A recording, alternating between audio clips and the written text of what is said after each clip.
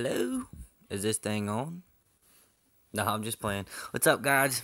It's MOD, the Guardian, uh, moderator, operator of the game Clash of Queens. Yours truly here, bringing another video. Today we're going to be doing defensive setup. Um, got a lot of big players out here that uh, like to spend a lot of money. I know I don't like to spend money. I don't even like to buy my own shoes, but you know, gotta walk somehow, huh? Um, so yeah, uh, got a request for a defensive setup video. Um, gonna give you guys like a basic rundown of what you should be working on um, to be able to take some good hits, uh, not lose everything that you've worked for, because God knows if you didn't pay for it, you worked for it. Um, we're gonna go ahead and just jump right into it. Um, today I'm not using my MOD account. Uh, it's a little bit smaller than my account that I have here in 101. So I'm gonna use this account to show you guys basically what's what's gonna happen. Um, let's get right into it. Uno, dos, tres, cuatro. No, um, we're gonna start with the garrison of the wall. You guys should know that each troop type has their well each troop has their own troop types. Um, there's an attack and a defense. Know your differences. If you do not know your differences you will not be successful. So infantry shieldmen. Cavalry cavalry obviously. Um, archers crossbowmen. And then mages mage. These are all defensive troops. Um, your garrison setup should look pretty much exactly like mine. Um, your infantry is going to be in there taking big hits. Your mages are going to be in there taking big hits, and your crossbowmen are going to be in there delivering big hits. Um, I'll explain that to you a little bit after, but your wall garrison should look pretty much just like this percentage wise. Go ahead and save that. We're going to go ahead and move on to the next thing. Uh, the next thing I want to show you guys is research. Research is actually very important. So we're gonna go ahead and jump into college. Lord knows I never went, but still pretty smart. Um, a lot of people think that city defense is gonna help you a lot on, on defense, and that is that is very much not true. Um, a lot of the city defense is just is just trap research. Um, I think traps are a waste of time. They're a waste of resources. They don't ever do nothing. Maybe kill like hundred or so troops, but what's the point of that? Um, so when you're in your city defense, you do want to work on some things. Uh, you want to work on your wall reinforcement up here. You want to work on your battlements, which is going to give you defender defense, and you want to work on uh, your loophole, which is going to give you defender attack. Um, so there's th those three right there, and then you can find those three down here as well. Wall reinforcement, loophole, battlements. Um, another good thing to work on is first aid but that's for attack. That right there is going to get turn your um your lost soldiers into wounded soldiers instead of them dying. They'll become wounded. But that's just for attack. We're not going to get into that one. Um, for your military research, this is very important as well. Um, you can see they go by tiers. Uh, you have your attacks up here, your swordman, horseman, magic, and archery and then your second one's always it's always going to be defense all these ones with shields. Um, these are very important on your defense. Um, if you have to choose on which research say you're limited on resources and you have to choose which research you want to do first always go with archery i mean sorry infantry and armoring. So you want to do your scale armor and you want to you want to do your armoring. This is going to increase your infantry defense and your your caster defense, which is also very important. Um, after that, make sure make sure you're doing your cavalry defense and your um, shooter attacks. Um, the health points are also very important as well. Um, your infantry grit, cavalry grit, caster grit, and your shooter grit. Um, we all know if your troops are going to last longer in battle, they're going to do better. They're going to get more kills. So you want to work on these ones as well. So don't neglect these guys because if you neglect your, your health points, your defense is going to be pointless. Um, also, a lot of people may not may not think this, but you want to work on your archery attack as well. I'm going to show you guys a little something here. If you go into your range and you're looking at your crossbowmen, okay, here's your typical level 7 crossbowman. Um, you don't get these guys until level 9 again, but If you go in here, click on this this little arrow over here, okay? This little I button, and it's gonna show you all their skills down here. This defense skill right here at the bottom, get attack bonus during defense. This means when your crossbowman is, is defending your castle or defending another person's castle, they're gonna get an attack bonus and you can see up here the attack is very high your attack is at 68 and that's even higher than your level 8 attack uh, for the 47 these guys right here they have double attack speed though so even though your um, the uh, the attack is only 47 when it, with double attack speed it's hitting it's hitting two times uh, faster than the crossbowman is going to hit so instead of it being 47, it's actually going to be 94. So it is higher, but those are better for attack than defense. These guys right here with the attack bonus, they're going to do a lot better. You see the defense is high, um, just a, a little bit, a little bit less than that one. Health points are just, they're just, they're very, very close. But these guys are shit on defense. Um, so when you're working on defense, you want to uh, work on your research for your archer attack as well. Um, you to do not do not neglect that. That is going to be a very important part into winning your battles. Um, most battle reports are wins if the enemy is losing more power than yours. It doesn't matter about how many troops you lost. Doesn't matter about how many troops you killed. I've I've killed 100k troops in a battle before and still lost. Um, lost 50k troops, and I've lost battle because uh, my troops were higher level. I lost more power than that guy. So you want to make sure that you're making your opponent lose more power. Um, another thing we want to get into is our dragon research. This is going to be very important for yourself as well. You want to work on your dragon armor. That's going to help your blue dragon defend, uh, your dragon strength, which is going to increase the health points of your dragon, and your dragon claws, which is going to increase the attack as well. Um, another important thing to work on for your dragon is your dragon garrison master. Um, this right here is going to increase the defense during the garrison of the dragons. Work on your dragon siege. Um, this is going to increase the attack with the siege of the dragons. So when you're attacking, it's going to increase it. It's going to give about 5% bonus. Garrison is going to give a 5% bonus on defense. And then the Dragon Slayer is going to increase um, the health points. It says restraint on the basic elements of the dragon, but it means it, it's health points. Um, so you want to work on those. Also, you um, the best thing you can you can do for yourself is work on uh, these banes, bane of mages, uh, bane of archers, bane of cavalry, and the bane of privates. These right here are going to increase the attack on those certain troop types, and you can get 10% bonus on each of those. So those are going to be very helpful when you're defending your castle. Um, that's pretty much all you have to work work on in, in that college. We'll get into the Skyland College next. Despacito. I got that stupid song stuck in my head. Um, oh, it's Temple of Gods. What am I doing? Here is our Skyland College. This is actually my favorite college. Um, I believe they should have introduced this before they introduced anything else. Um, this is a new feature right here that they just added to the Skyland College. It is freaking awesome. Um, this right here is probably like the epitome of the research that you should be doing. Um, I don't have any of it done because I don't have the resources for it right now. As you can see, it does cost a lot. Uh, 21 mil wood, 24 mil food, 4 million iron. This this is no joke. Um, but you can reduce the, the defense and also the health points and also the attack of all troop types. Um, that right there, if you can get this research done on defense, is gonna greatly improve your chances. I know it's only five five percent well, I know you can only research it five times, but each time is 3%. So you can reduce each of their uh, defense, attack, and health points by 15%, which really doesn't seem like much, but that can be the, deci- deci- the deciding factor of a win or a loss. Next, we're to go over to your Dragon Hunter. Um, Dragon Hunter is also very important.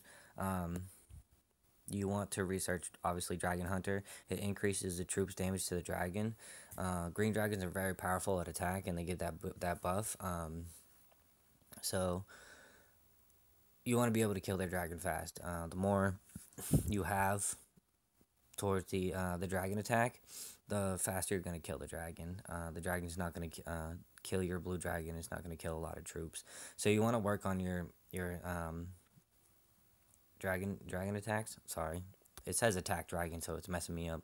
You want to work on your dragon attacks for each of your troop types. Um, if you had to start with one, I'd start with um, your shooters and then your mages. Um, I wouldn't worry too much about infantry because infantry is not really going to do much much damage. It's just going to take the hit. Um, you do want to work on the dragon defender as well. This is going to help your troops uh, defend against the dragons. This one, I would start with the warriors, which is infantry, and then the mages. Um, that's going to help you a lot. It's going to help your troops stay alive longer from the uh, the dragons. So pretty much, pretty much everything like in this Dragon Hunter um, section of the Skyland College, you really want to work on. Um, dragons are big, big components of, of this game, and they kill a lot of freaking troops. Um, I am not a big fan of them unless my dragon is killing a lot. yeah. Sad to say that, but I think a lot of people feel that way as well. Uh, this little building over here, I hate that stupid thing. Um, also, I don't have the Stardust. Actually, I think I only have one Stardust. But there's the Stardust um, that increases your hospital capacity, which is very important. You need big hospitals if you're getting hit by bigger guys. Um, you don't want to lose all your troops and have to rebuild everything. I've done it before and it freaking sucks. Um, so you don't you you want your hospitals to be up. Um, I try not to hold a lot of troops over than what my hospital can hold. It's very disappointing when you lose a bunch of troops. Um, I've I've lost three million troops before, and it was not fun. Maybe want to lead the game. But um, keep your hospitals up. There's another Stardust that is um, you get defense while defending, and I think you can upgrade it 33%. So it's like another piece of equipment. It's actually very, very helpful um, if you're working strictly on those. Um, those are going to be a big factor into your troop buff while you're defending as well. Um, we're going to get into equipment now. I absolutely hate this equipment. Um, it's very hard to get the um, materials that you need unless you're spending money. And I don't like to spend money on this stupid game. I don't. I, I keep calling it stupid. It's not stupid. I just think uh, lot, there's some there's some things that need to be changed. But um, I love it. Obviously, I'm still here. I've been playing for two years. So, uh, let's see here the Eternity set. This is the best one to work towards. A lot of people can hit Lord level 50. Um, it's very hard to get to Lord level 60 unless you are spending money. Uh, so if you're not spending money like most of us, you uh, want to shoot for this this equipment right here. Um, your full set is probably your best. Um, the best way to get these materials, usually you can get everything except for the green elemental ores down here, just by pretty much playing the game. It, there those all, all, three of those those first three uh, uh, materials up here are very easy to get. Um, as you can see, I have a high amount of them. I just don't have a lot, lot. Um, these elemental ores, your best way to get them is through honor points. Um, I know it sucks. Maybe you have. Um, I used to use one of my farms strictly um, to get my honor points. I'd hit my farm troops every day, get my maximum honor points, and spend it all on elemental ore probably the best way to get it. Uh, if you're a level 30 castle, you can get, I think it's 1.3 million honor points a day, which equals out to about 10 elemental ores a day. Um, so just about in a week, you can you can get about 70 of those, even the purple ores too. Um, if you need to start with something, um, I would I, first one to work on, best to be working on would be the Eternity Hammer for your defense for your infantry, and then um, your uh, enemy Eternity Gator. I don't say enemy. Your Eternity Gator. Um, those are the first two I'd work on, and then your Eternity Armor, um, and then pretty much everything else from there. They're very very hard to get, but if you use the honor system, like like I just told you, it, it's gonna reduce a lot of stress in trying to get those materials because uh, those materials are very hard to get. Also, use your lucky days.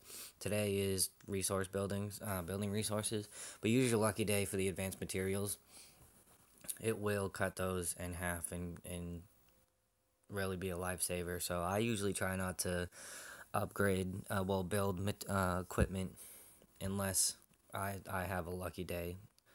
Um, what else did I want to get into? We did research, wall garrison, um, dragon. Um, okay, well, while we're here, I'm going to go over the troop types. I'm going to show you guys defensive troops and attack troops. Because um, if you're reinforcing a castle, you need to know your, your defense and attack. Um, so, as you guys know, crossbowmen, these guys are your defense. Uh, they get the uh, attack bonus right here. They get the defense skill, so you get the attack bonus during the, during defending the castle. Um, these guys, your your archers, well, these girls, I, I should say, um, they're your attack. They have the double attack speed, uh, which pretty much doubles their their attack. Um, so these guys, these guys are very important in attack. These guys are very important in defense. Um, here in your barracks, you got noble guards. Um, these guys are defense all the way. As you see, they have the shield, decreased damage dealt by archers and crossbowmen. Um, they have the iron armor, which greatly increases defense, and they have grit, which great, greatly improves the health points. Um, so these guys are definitely here for taking big hits. Um, then you have your halberd warriors. These guys are attack. As you can see, the defense on this guy it's only 29. On your warriors, it's 70. So there's two different two different troop types for each one. And um, these guys, you get your uh, increased damage to cavalry. Um, your attack is greatly upgraded with the brutal attack and critical hit. You have a chance to deal triple damage. Um, that's very nice, but that chance to deal triple damage really isn't much. So I don't like to use the pike warriors very often.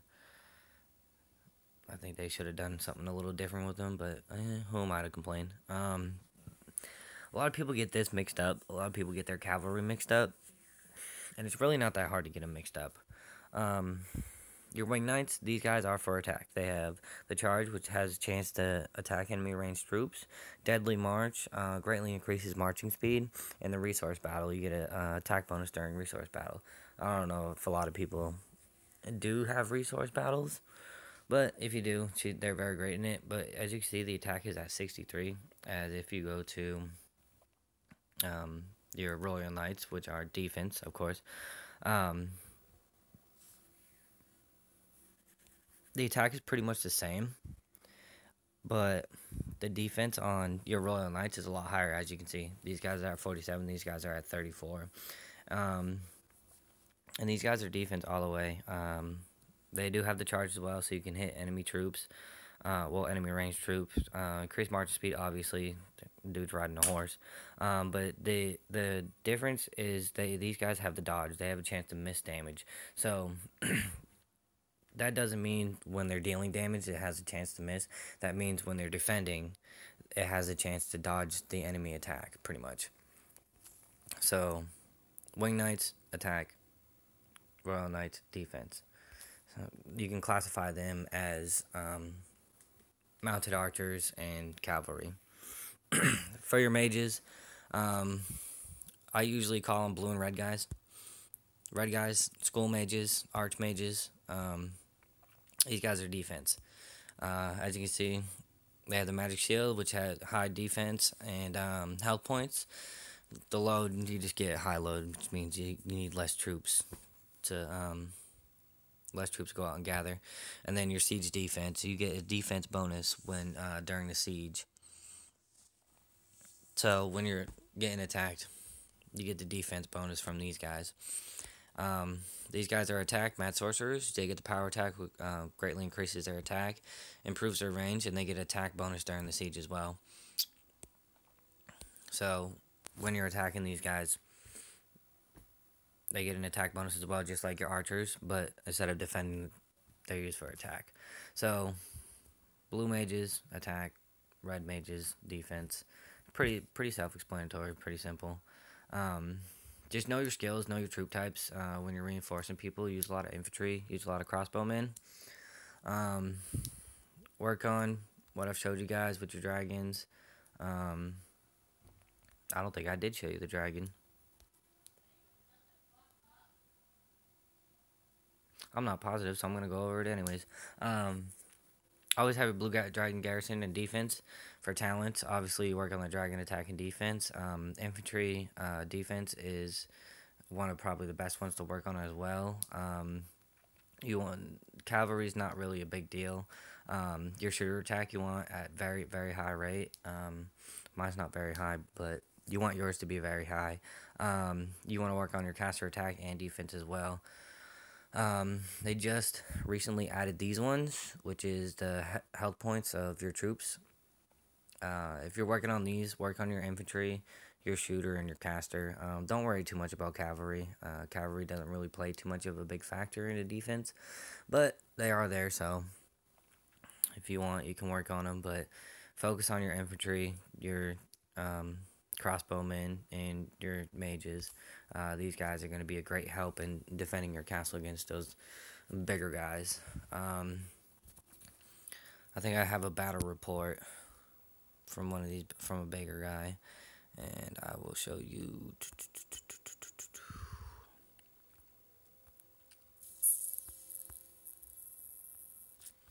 See if I can find. These are these are some older ones. This is from back in May. Um, castle wasn't very big at the time. As you can see, I'm going up against a pretty powerful castle. His march is significantly bigger than mine.